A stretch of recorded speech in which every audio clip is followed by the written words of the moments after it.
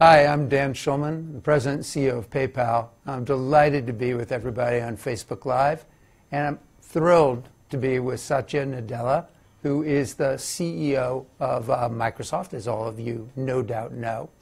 Now, you may not know that Satya is also a recent author um, of his new book, Hit Refresh, which is the quest to rediscover Microsoft's soul and imagine a better future for everyone.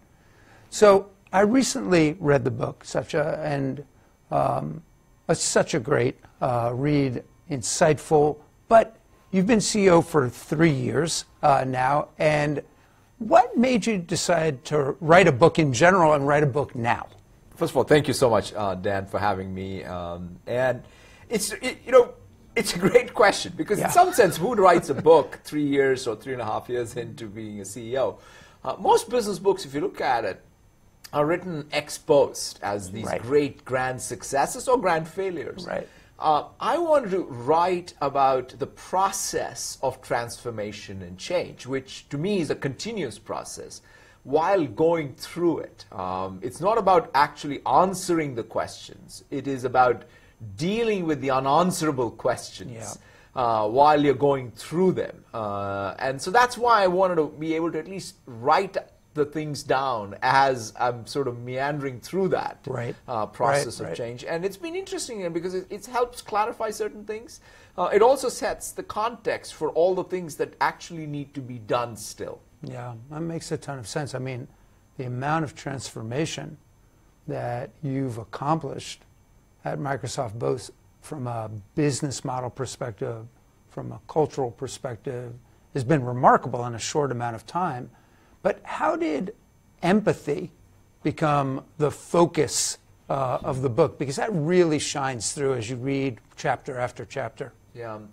You know, one of the things that I um, have come to internalize is that the, at the core of our businesses uh, is the need for innovation, of course. Yeah, of but course, yeah. what's the real source of innovation? The real source of innovation is our understanding of our customers and their needs, right. and in particular, their unmet and unarticulated needs.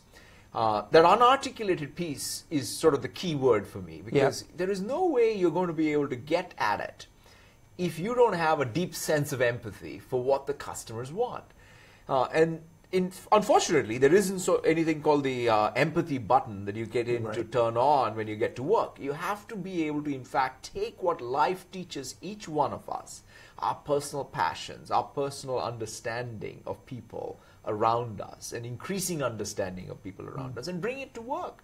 Uh, because any some small business, um, you know, that you've dealt with and you resonate with, uh, is someone you can have an impact at Microsoft because of what we do, or a consumer, right. uh, or even a large multinational or a public sector organization. So that opportunity to unlock what I think is innate in all of us, which is having empathy for people around us and communities around us, and put it into the context of business. And that's why I think that this is not like uh, something you do outside of work, but I think it's actually existential for every business. Yeah, I often think about life is something that people often talk about work life balance, and I think life is somewhat seamless. Right. You bring yourself into work, you bring life into your work, you bring your work into your life, and I think if you're passionate about what you're doing, if you have empathy, um, as, as you talk about it, if you have a real uh, passion for serving customers uh, and making a difference, you attract the best employees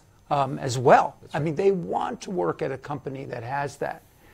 You also have um, a great um, uh, um, philosophy that comes across, which is how do we transform Microsoft, and Microsoft being one of the world's most successful companies for the longest time, but that often gets in the way of future success as well. That past success gets in the way of future success, ironically. Right. And so you talk about the transformation of Microsoft as moving from know it alls to learn it alls. And can you talk a little bit about that and how you learn from your customer and what, what you yeah. mean by that?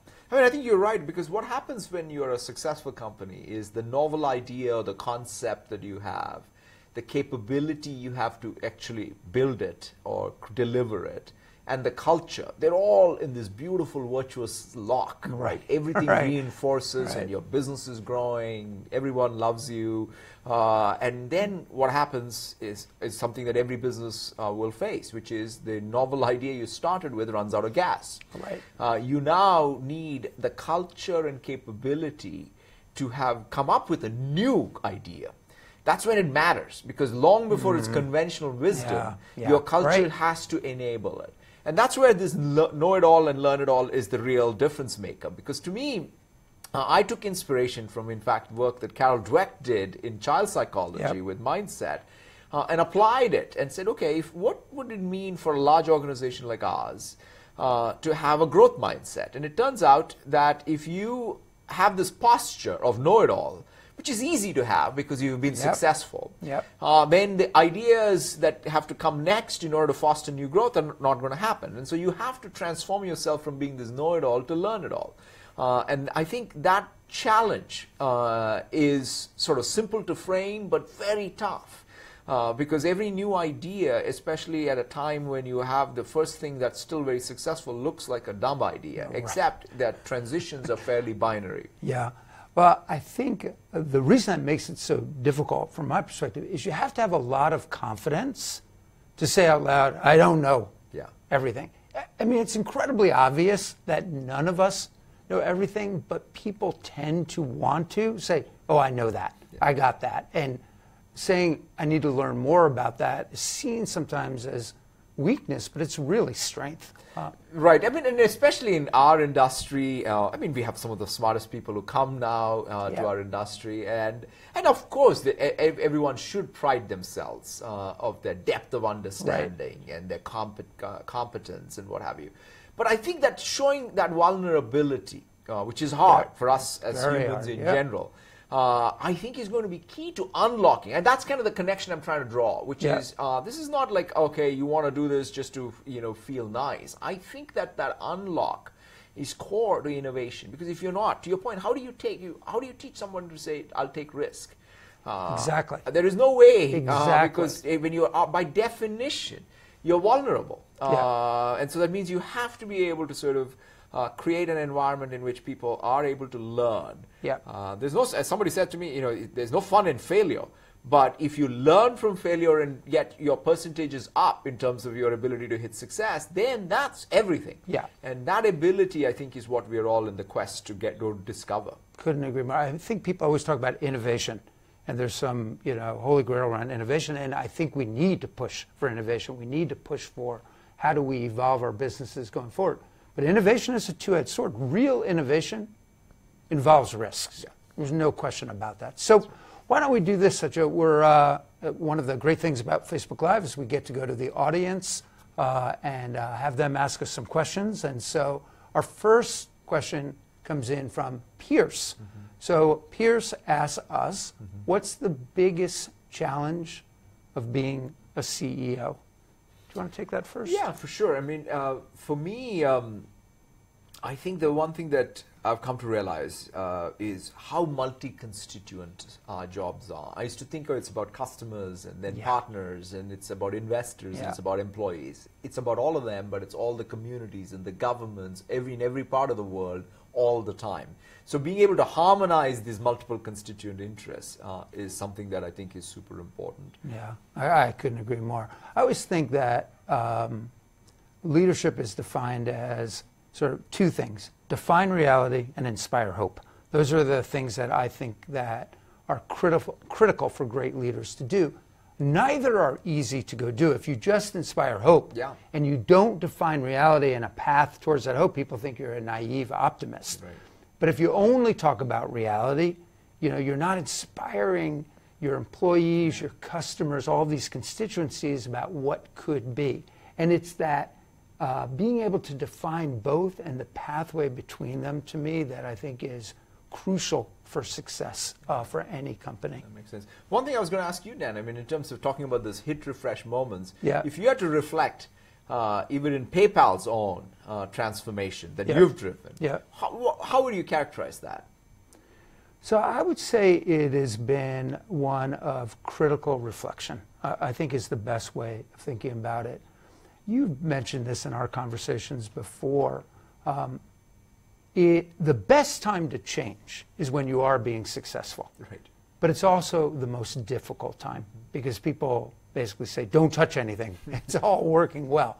But you know that, to your point, that things run their course and then they start to decline. And so, really having a very honest conversation about what value could we provide to different segments of the market, defining an expansive mission and vision, which for us is democratizing financial services. It's a great mission because we can make a real difference. Technology can actually work on that, and we have a mm-hmm. platform to enable us to do that. But once you define that, then the cultural change that goes around that is also a very difficult thing to do. And I think we've had to sit back and challenge ourselves um, and really push ourselves. And there's a great saying in martial arts, uh, and, and, you know I do that all the time, which is uh, never stand still. Because if you stand still, you're asking to be hit uh, in a fight. And so we really try to live up to that uh, philosophy. That's fantastic. Yeah, that's great. Well, Satya, thank you so much uh, for being here. It's always a delight and a pleasure. And uh, Likewise. Thank, you. you. so much, Dan. Okay. Thank you.